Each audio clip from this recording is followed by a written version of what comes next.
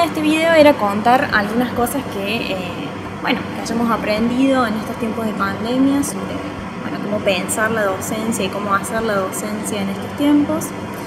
Y bueno, lo primero que se me viene a la mente es eh, algo respecto a la afectividad, ¿no? Por ahí durante el cursado habitual, llamémosle durante la presencialidad, una de las cosas que siempre con mis compañeras charlamos es esto de eh, cuán buen docente te hace eh, sostener lazos de afectividad con tus estudiantes o no. Si eso contribuye a ser un buen docente o no contribuye a ser un buen docente.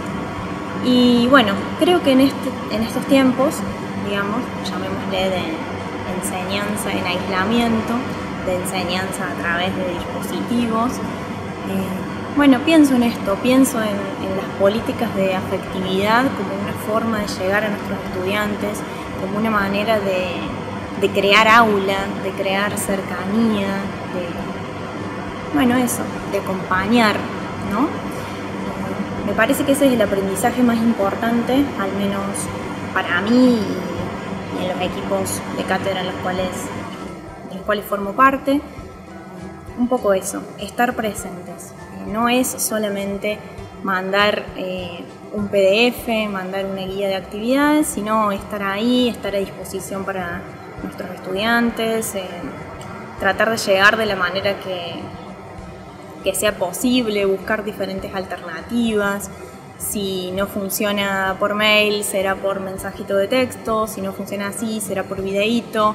Eh, bueno, eso, pero pero estar ahí, construir un vínculo desde la presencia, que no necesariamente implica la presencia física, sino, bueno, eso, aunque sea en la virtualidad, pero, pero saber que el otro está ahí y, que el otro tiene una cara, tiene un nombre, tiene un apellido y, bueno, estar uno también ahí para el otro. Este año, em, eh, como todos los años, habitualmente lo hacemos en geografía económica, junto con el profesor Avaro, que es responsable a cargo de los trabajos prácticos, realizamos siempre ajustes. Este año nos propusimos em, realizar transformaciones un poco más profundas. Eh, en ese contexto se desencadenó la, pandemia, pero decidimos continuar con este proceso en, marcha. Eh, hemos Estamos trabajando firmemente con lo que es la lectoescritura académica, ya que eh, también nos encontramos dirigiendo junto con el profesor Avaro un proyecto en el marco de la cuarta convocatoria PELPA. ¿Cómo lo estamos materializando a esto en, nuestra, en nuestra materia? Bueno, el primer parcial, la materia es de corte anual, así que el primer parcial en este momento se encuentra en ejecución. Eh, los estudiantes eh, se les han decidido eh, ya sea realizarlo de forma individual o con algún compañero o compañera y como docentes lo que hemos hecho es mediante la aplicación de Google Drive habilitar un documento compartido junto con el grupo, con el estudiante y los docentes, de tal manera que cada semana vamos haciendo un seguimiento en cuanto a los avances que los estudiantes van llevando a cabo. Eh, todas las semanas estamos tratando de tener un contacto con el estudiante, además de la clase eh, que venimos dictando mediante videoconferencia. Eh, y este seguimiento lo hacemos ya sea por grupo de WhatsApp, por mensaje de WhatsApp o por correo electrónico o a veces hasta videollamada. Lo que tratamos es que en este contexto el estudiante, más allá de la lejanía que está dada por la no presencialidad, pueda sentir que estamos cerca eh, y nosotros también tener como docentes ese contacto cercano con el estudiante. Quiero resaltar en este caso el rol del estudiante, en el caso por ejemplo de geografía económica, esta materia de segundo año, que ha demostrado, viene haciéndolo eh, un compromiso con las lecturas, con la participación. Eh, estamos logrando en las distintas clases que tenemos un buen porcentaje de participación por parte del estudiantado, lo cual nos motiva creo que a, todas las partes. Hemos pensado en este año también en, un proceso de transformación de ese programa de la materia, em, pensando a la misma eh, con dos metáforas, la idea de usina, la idea de eh, incubadora. Si bien son conceptos que traemos de otras disciplinas, pero ¿por qué lo pensamos en este caso para nuestra materia con estas características? Eh, además de formar parte del proyecto PELPA, integramos un proyecto de geografía rural que es dirigido por el profesor Jorge González y la profesora Rita Maldonado. Y Así como la lectoescritura académica se transforma en un contenido transversal, eh, decidimos como equipo de cátedra transversalizar este proyecto dentro de la materia. Eh, ¿Por qué pensamos en la idea de incubadora? Porque estamos, eh, y así lo hemos entendido y lo trabajamos, generando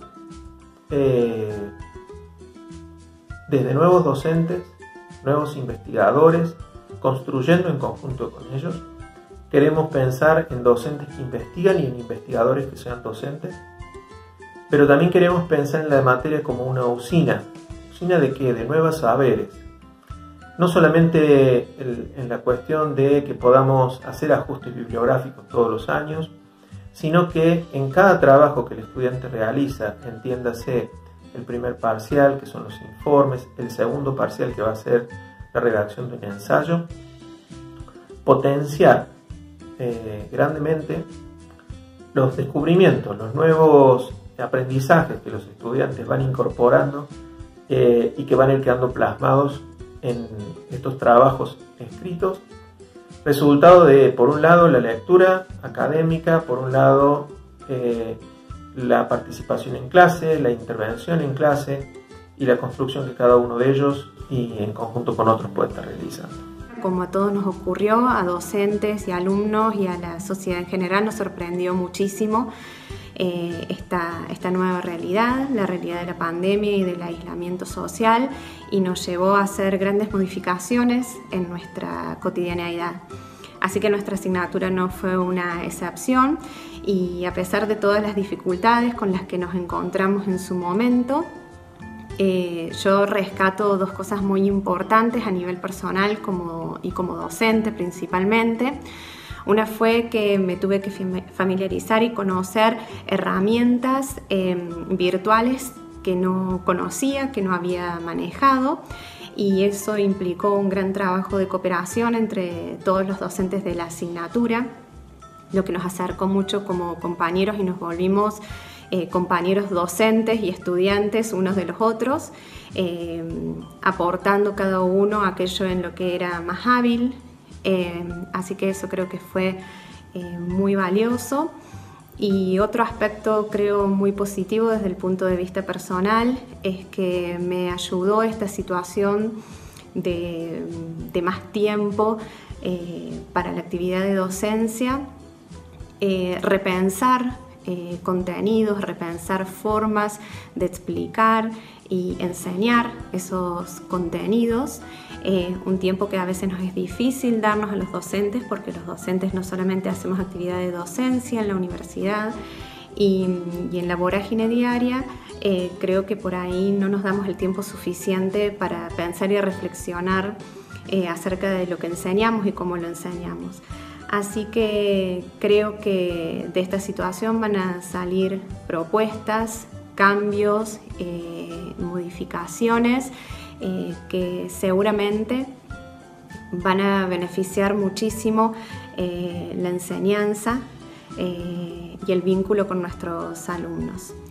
Así que creo que de toda esta dificultad y que sí nos hemos encontrado con situaciones difíciles de sortear, también nos hemos encontrado con el tiempo para reflexionar eh, nuestro quehacer docente y encontrar formas de mejorarlo y de también valorar muchísimo eh, lo que significa el trabajo en equipo y también valorar muchísimo lo que significa el contacto eh, lo más estrecho posible con nuestros alumnos.